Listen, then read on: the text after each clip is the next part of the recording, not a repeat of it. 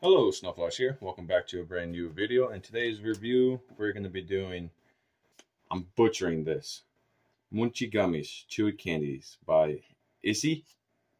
It's going to be strawberry flavored. It's gluten-free and plant-based.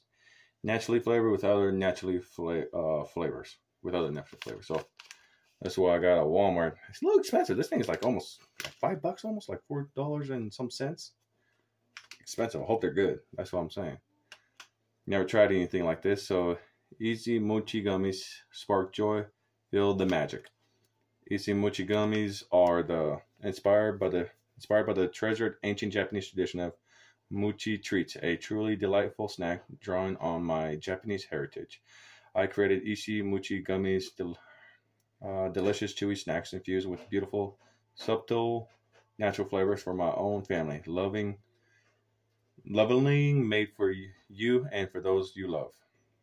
Mike Mika Shinu, founder and CEO. Cool. All right, 20 grams of sugar. Well, let's try this out. I have a little opening right here. Oop, I just ordered. Wow, that smells pretty good. Yeah.